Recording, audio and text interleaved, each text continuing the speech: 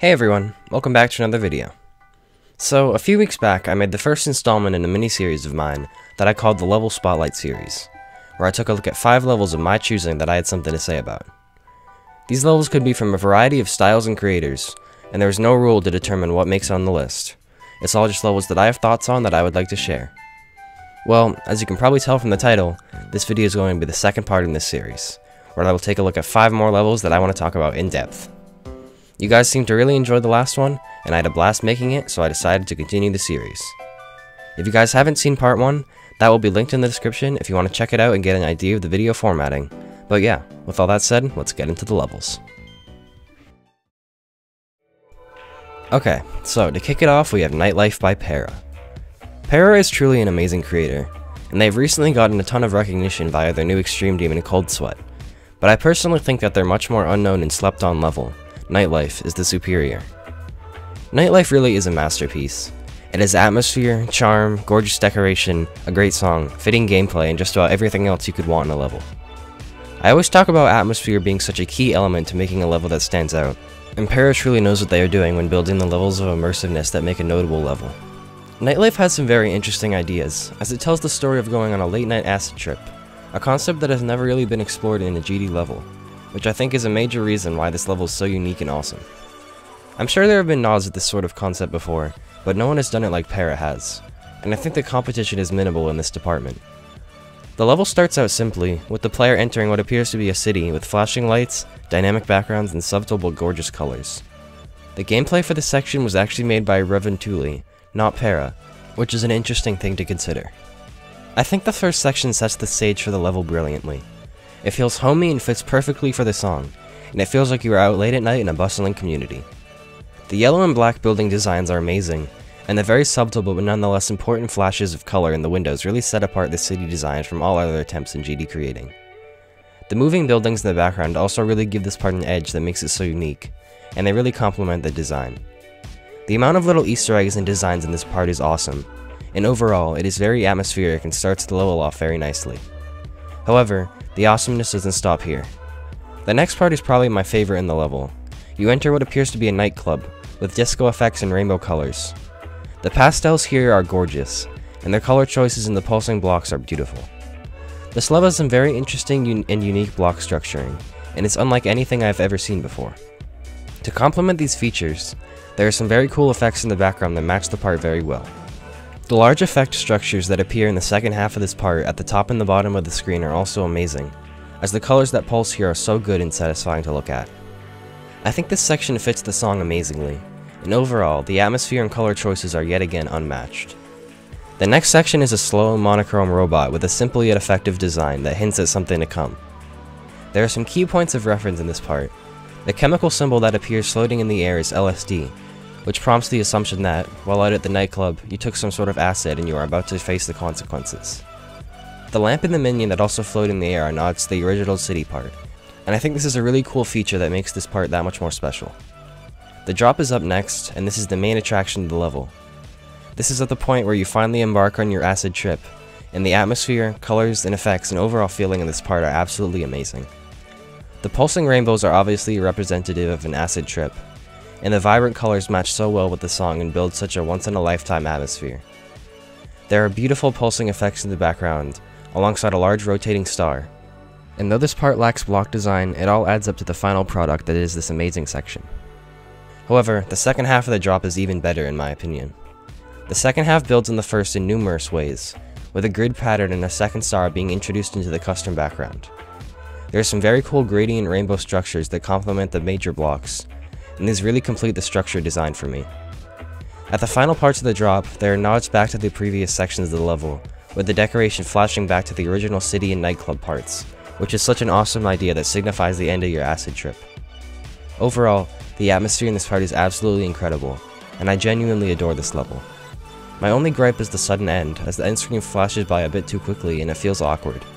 But that is a very small complaint, and in the grand scheme of things, this level is definitely one of the best that this game has ever seen. The passion that has gone into this project is very noticeable, and I love everything about this masterpiece. The concept, execution, and feeling that this level gives is unmatched, and this level will definitely go down in history as one of the most loved and memorable maps in the game.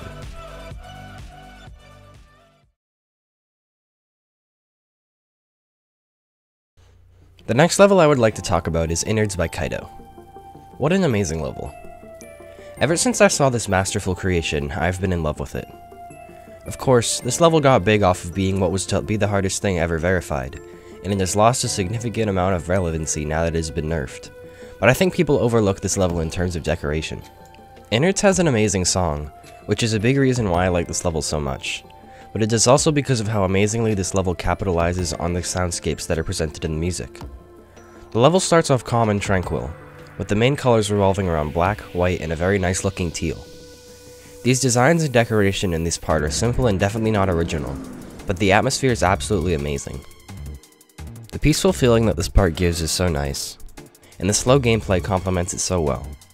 I have seen a lot of people say that the decoration at this part is generic 2.1, and though they might be right in some aspects, I think this is one of the only times the generic 2.1 design works incredibly fittingly and is well made. The level speeds up a bit at the next part, and the teal pulses slowly turn into red, signifying something to come. The level then glitches out with the music, and it comes back with a faster and more sinister atmosphere, with the teal colors that reigned at the beginning being replaced entirely by red. This all fits very well with the song, and a major reason why I like this level so much is how the progression of the music fits so well with how the level is presented.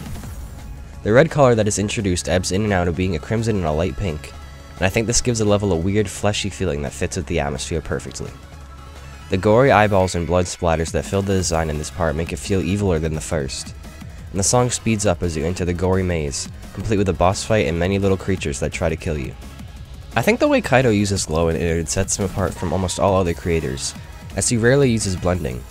Instead, he leaves the glow as it is without blending it, making it stand out more and giving it this weird, fleshy, but effective theme that I think works incredibly well with the song and the atmosphere.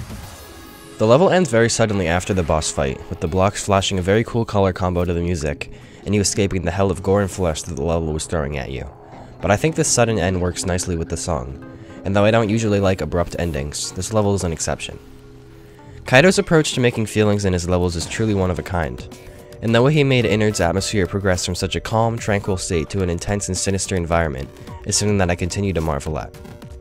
Innards has always been one of my favorite levels, and though I can see why some people might not like it, I hope you can now see the reason why I love Kaito's building style and mindful design choices that were made when making this level. Innards is a one-of-a-kind build, and it will go down as one of my favorite levels, and hopefully one of your guys' favorite levels of all time.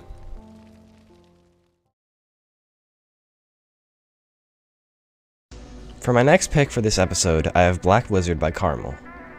Black Blizzard had always been a big extreme demon, as everything Krmal makes somehow turns into a community favorite level. But unlike some other demons he has released, Black Blizzard is actually deserving of its praise and recognition.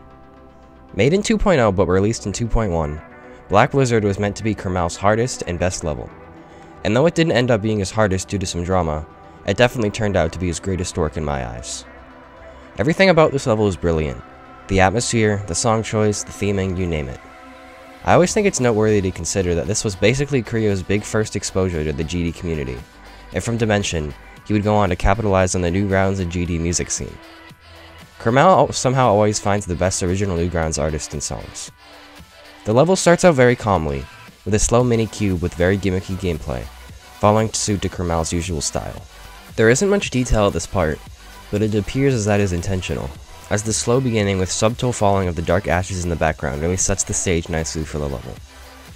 There is some nice usage of glow in the custom background that gives it some depth, and though the block design is very simple and minimal in this section, the atmosphere is chill and filled with indifferent premonition.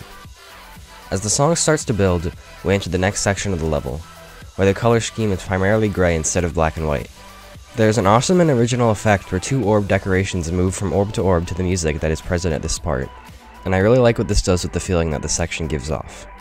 There are some very subtle visual effects in the foreground, with what appears to be gathering wind moving across the screen, and though there is again very simple and minimal block design, it gets the job done. If you look closely at the structures, you will notice that they are very dynamic, as they move to the music and give a very windy atmosphere, which is aided by the effects and glow that are used in the background.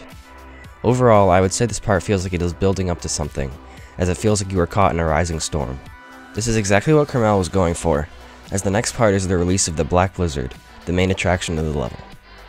Of course, it is not hard to see that the theme and premise of this level is a dust storm, but the way the level builds up to this eventual release is really something else.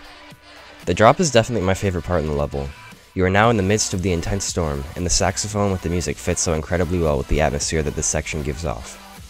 I really applaud Krmal for his visualization of the song in this department, as the way the level and the music fit together really blows me away. Most of the decoration in this part is black, with some white and grey details here and there and a grey sky in the background. You can see black specks of dust flying crazily across the screen, and the black blizzard itself in the background, swirling insanely to the music. However, it only gets better from here. As the level enters the second half of the drop, all hell breaks loose. Black dust flies across the screen even more than before, and there are so many new concepts and colors introduced. This second half of the drop builds on the first very expertly, and it is one of the main reasons I love this level. It all builds up to this moment, the sudden explosion of the dust storm. The monochrome element to this part is so beautiful, and there's something about the white and black that he's used that is just so gorgeous and intense at the same time. The rotating spotlight effect in the background is amazing visualization of the new melody that is introduced to this part in the song. And with the increased detail on the mountains in the background and black snowflakes falling through the sky, this part has an atmosphere and beauty that I honestly think is one of my favorite parts in any Extreme Demon ever. This part has the most block design out of any other section in the level, and I think that's intentional. The block design gradually gets more cluttered and filled as the level goes on. After this final intense section, the level slowly fades away with a slow, tranquil wave in the ship section, reminiscent of the beginning of the level, but this time with elements of gray and white that were built on by other parts in the level. The visual effect in the background is amazing at this part, and the slowly falling dust signifies the passing of the Black Blizzard in the ending of the level. As you clear the final area, it all fades away with the music, and is a fitting end to such an incredible level. This is without a doubt Krmal's best work, and the thought behind every little aspect of it is evident. It really blows me away that this was made in 2.0, and I genuinely think that's the best level that was made back then. It still holds up to standards today as one of the most beautiful Extreme Demons. The atmosphere, theming, gameplay, name, and song are all top notch in this masterpiece, and I'm confident that this level won't be forgotten. It is a fan favorite for good reason, and it will definitely go down as one of the best works in this game's history.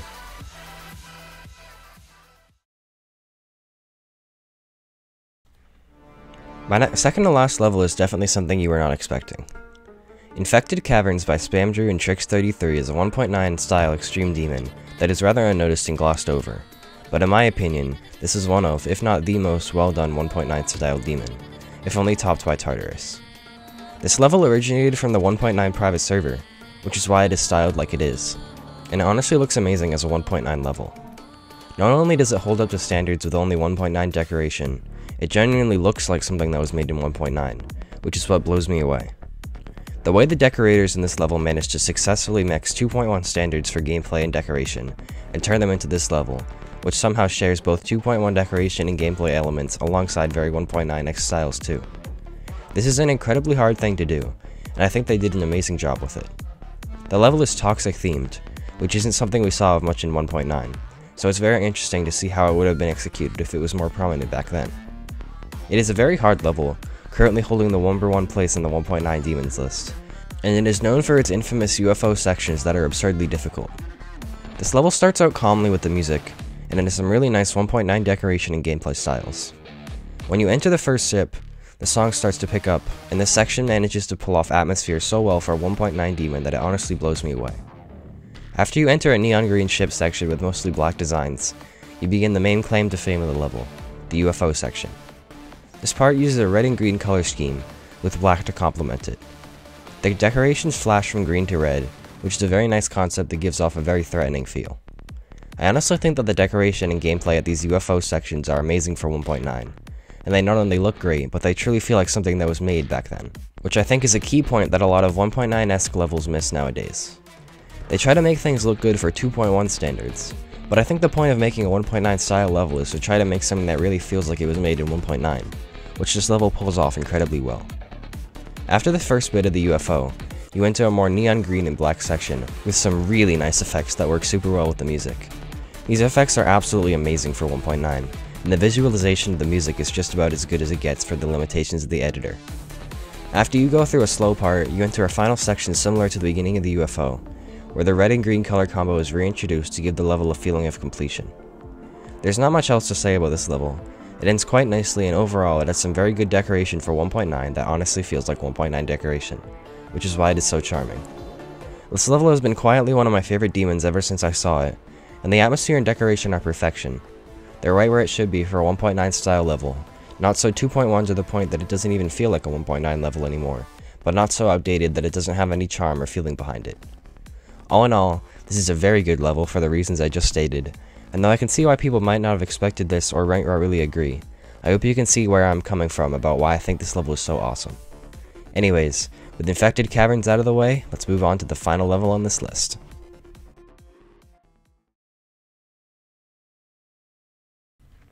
The final inclusion on this list is a level that I have loved ever since I set my eyes on it.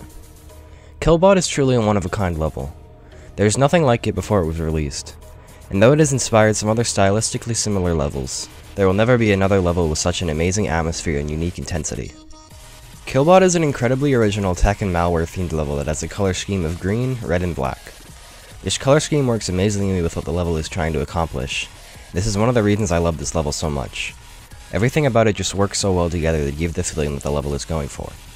The song choice, decoration style, colors, effects, and even gameplay all collaborate to make one of the most atmospheric and intense experiences in Geometry Dash history. The level is heavily based on memory gameplay, which, combined with the flashing effects, makes it one of the most difficulty memory demons in an extremely unique level. The level starts off with a ball section that sets the stage by saying how it is downloading killbot.exe, which, according to the level's lore, is a virus that installs itself on your computer and slowly drives the user to the brink of insanity. After killbot.exe is downloaded, you enter a spider section that builds up the song as the virus is installed, and at the drop of the song, the malware is installed and lets itself loose on your computer. Before I get into all that, I just want to recognize this tiny little effect right here before the drop. The text sync works incredibly with the music, and it is genuinely one of my favorite effects in a level ever. Anyway, the drop is insane. It's pure memory gameplay, and the effects that epileptically flash across your screen are some of the most absurd I've ever seen. As you travel through the level, the flashing gets more intense, and there's text and artwork that flashes across the screen as you progress. The theming of this is absolutely incredible, and the brutal atmosphere it gives off is unmatched. The level continues through a very difficult memory duel, and eventually you reach a slow point, which is a break from what is about to ensue. The section that is right after the slow duel is by far my favorite in the level. It's so incredibly intense with the music, and the way the effects suddenly stop to the song and you do a bit of straight fly before you are thrown right back into it is so brutal and powerful. It is so fitting for the end of the level, and that last UFO is one of the hardest parts, signifying how the difficulty doesn't stop right up until the very end. The melody that builds in the background of the song is so gorgeously intense with the gameplay and the effects, and as it gradually gets louder and louder, you finally clear the final UFO and escape the madness that is Killbot. The end screen is very simple but effective. There's something very ominous and prophetic about it, as somehow your struggle isn't yet over. All in all, this level is chill-worthy. The intensity and magic of every aspect of this masterpiece working together for the monstrous atmosphere it gives off is something that I continue to marvel at every time I watch it. I sincerely doubt this level is fun to play, but that just adds to the feeling and intensity give off. It's not meant to be fun, or an enjoyable level. It's meant to be an incredible challenge that only the most determined and willful players can clear. Everything about this level works together amazingly well, and I love this level just as much as when I was first blown away by it, if not more. I can understand why people won't like this level and might not agree with my opinions on it, especially because of the nature of the creator. But to me it doesn't matter if he was the worst person on the planet, he made a masterpiece, and I respect his artistic talent at the very least. I hope you guys can see why I like this level so much, and I hope you all agree. I think this might be the most controversial entry in today's episode, so feel free to tell me if you disagree and why. But, all in all, to me, Killbot is a beautifully evil masterpiece that will continue to be known as one of the best memory extreme demons in this game's history.